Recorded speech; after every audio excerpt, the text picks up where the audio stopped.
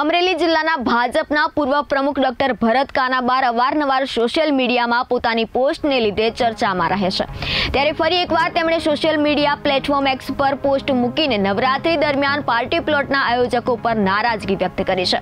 Doctor ભરત કાનાબારે જ્ઞાતિ આધારિત નવરાત્રીનું આયોજન કરતા આયોજકો પર પ્રહાર કરતા એક્સ પર લખ્યું છે કે નવરાત્રીમાં શેરી અને જાહેર ચોકમાં થતા ગરબાઓ હવે માત્ર નાના ગામડાઓ પૂરતા સીમિત થઈ ગયા છે. મોટા શહેરોમાં તો મસ્ત મોટા આયોજનો થાય છે, જેને પાર્ટી પ્લોટનું રૂપાળું નામ અપાય છે.